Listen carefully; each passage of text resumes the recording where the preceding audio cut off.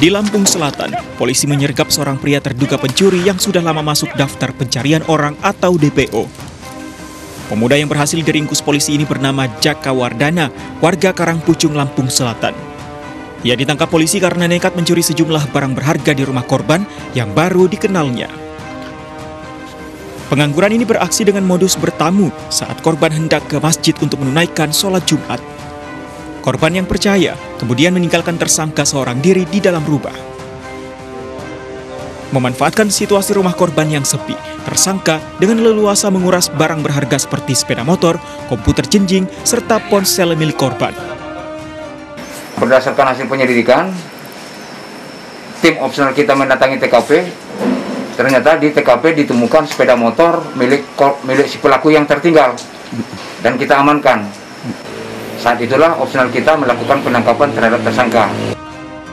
Dari motor pelaku yang tertinggal inilah, polisi kemudian berhasil menangkap pelaku. Pelaku terancam tujuh tahun penjara.